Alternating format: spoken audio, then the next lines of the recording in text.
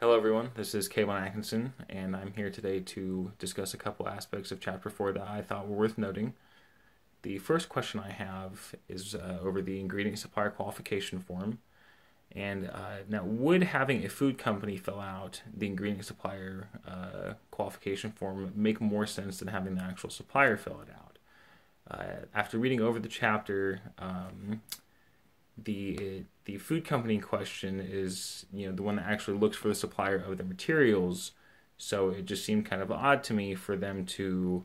Uh, it almost seemed like they just picked a company at random and then expected the company or the the supplier company to tell the food company why they're good enough to meet their needs. And for me, the food company in question should have done the research themselves and made the inquiries themselves as to why the supplier in question is good enough to meet their needs. It shouldn't be solely based off of um, the supplier responses. So, um, and also for me, it, this would uh, allow the food company to make a quicker decision.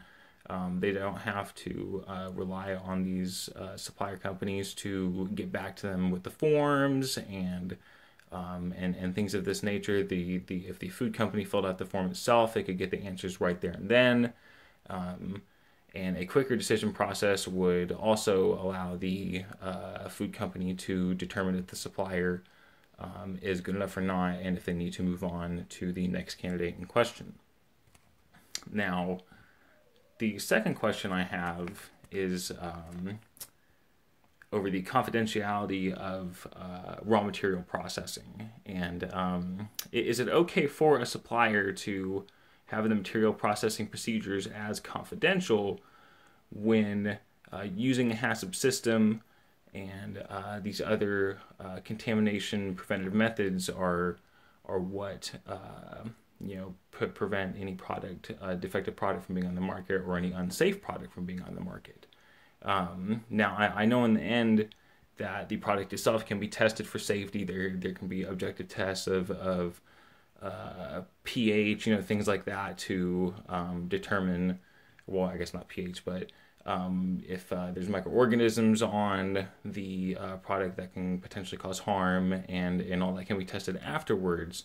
But um, for me, the process information should be readily should be readily available for the food companies to make their own determination as to if the process is safe or not, or if this is something that they want to be associated with their company. Um, it just uh, it, it just seemed like something that didn't need to be confidential if the the process is truly safe. And again, I know that the end product can be tested for safety standards, but um, there's really no way of knowing if the process is safe without knowing exactly what the process is and what these critical control points in the process are. It's it's kind of hard just to uh, take a supplier's word for it.